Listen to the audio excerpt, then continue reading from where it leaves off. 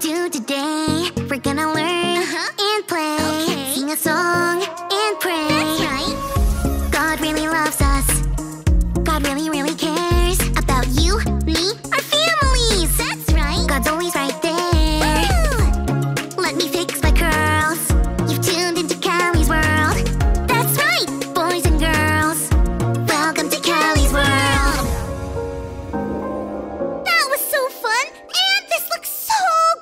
It sure does.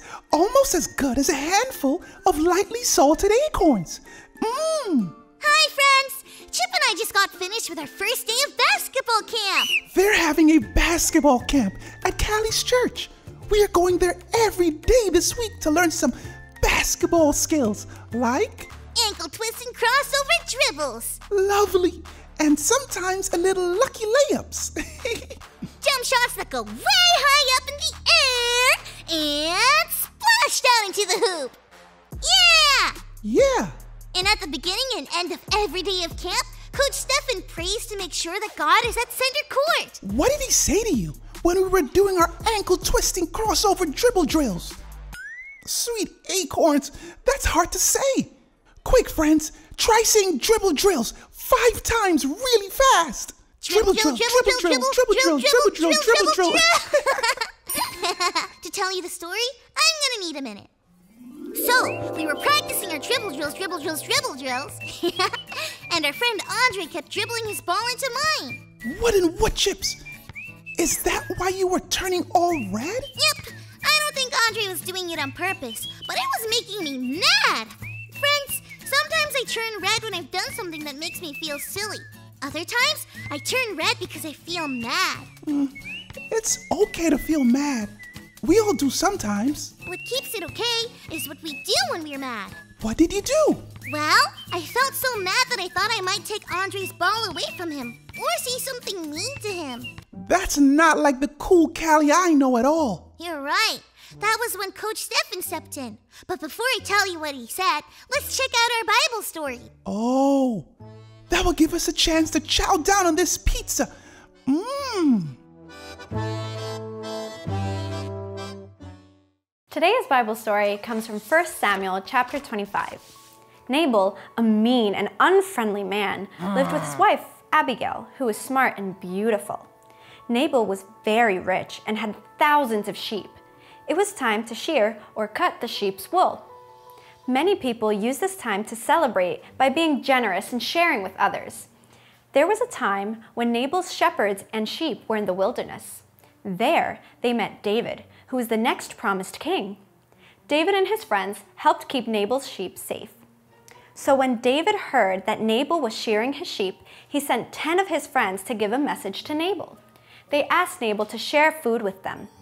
After all, they treated Nabal's shepherds and sheep well while they were in the wilderness. Nabal refused to share any food with them. Hmm. He was mean with his words. Nabal said he didn't know who David was, and even though David was famous in the land. David was famous because God promised to make David king one day. David was extremely upset when he heard that Nabal was being unkind to David's friends, so he took 400 people to go fight Nabal. One of the people who worked for Nabal told Abigail what happened, and Abigail had to act fast before something bad happened. She quickly gathered a lot of food to take to David. When she saw David, she bowed in front of him and apologized for Nabal's actions. She knew God had special plans for David. She asked him to receive the gifts of food and forgive Nabal. David was glad that God sent Abigail to meet him. David decided to forgive Nabal. That's how Abigail made peace.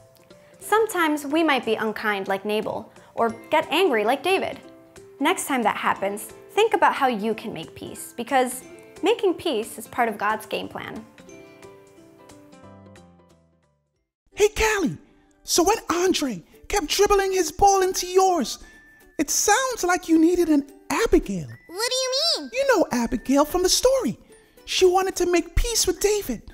I bet David was as rad as you were. Maybe even redder. Maybe even redderer. Oh, yeah!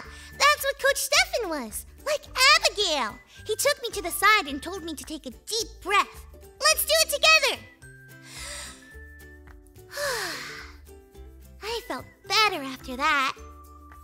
Then Coach Stefan moved me so that I was right beside you, Chip. That was fun because you and I dribble at the same speed. So our balls didn't bump into each other's, and we could keep the peace, like in this story. When we prayed at the end of the day, I thanked God for Coach Stefan. It's a good thing that he helped you keep the peace.